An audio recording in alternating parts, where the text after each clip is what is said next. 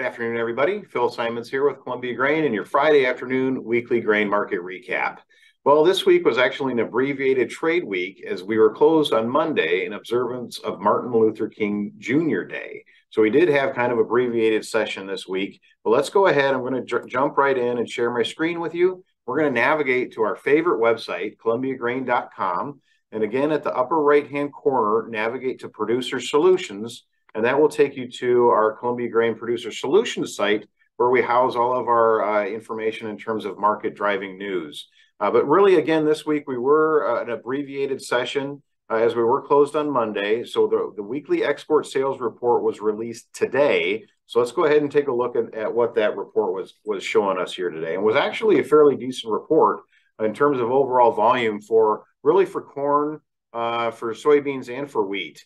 Uh, but corn, uh, starting on the left-hand side of your screen, you can see that corn came in at 44 uh, and a half million bushels, which is a good week for corn. And in all reality, it's actually printed an eight-week high uh, in terms of overall volume for corn sales. So that was really great to see uh, here this morning. We also did see a little bit of new crop corn being sold as well, just about 3.4 million bushels there too. Uh, so it was good to see, um, you know, the volume increasing for U.S. corn exports.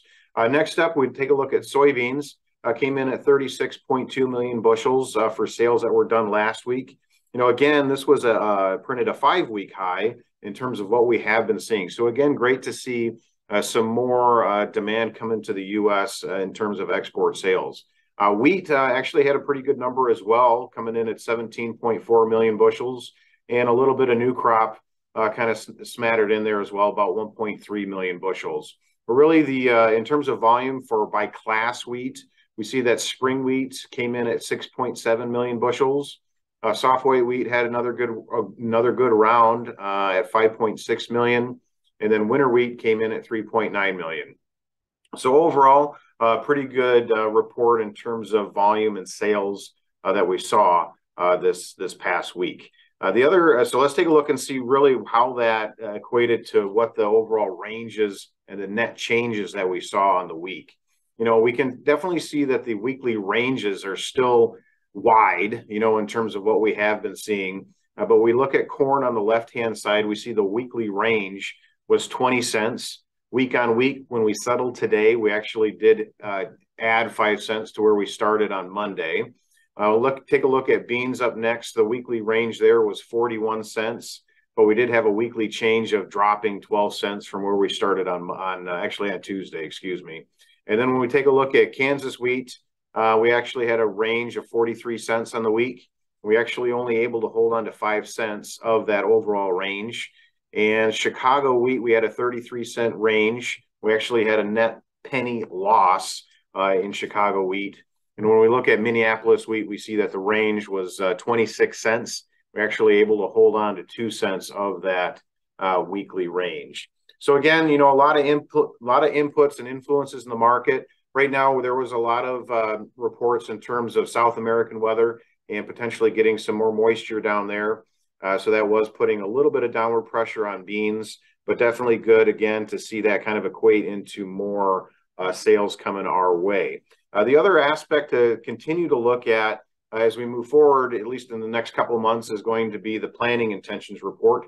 Again, that'll be out at the end of March, and we'll be talking about corn uh, and soybeans primarily, and then how those two are going to really, uh, you know, fight for the acres in terms of what to expect with that. There are some early, early reports coming out that uh, corn could see, you know, an increase of up to two to two and a half million acres. You know, and similarly with uh, with beans, looking at like around a hundred or a million to a million and a half acre increase as well. So again, that's definitely going to be a debate that's going to start to hit the market and definitely uh, have an influence in the overall prices. But again, when we look at you know a strategy going forward, looking at new crop soybeans again really do stick out like a sore thumb to me. Uh, even though we have taken a little bit out of the prices here this the last couple weeks, you know you're still hovering right around a $13 cash price you know, at a lot of our locations for new crop beans. So definitely take a look at that.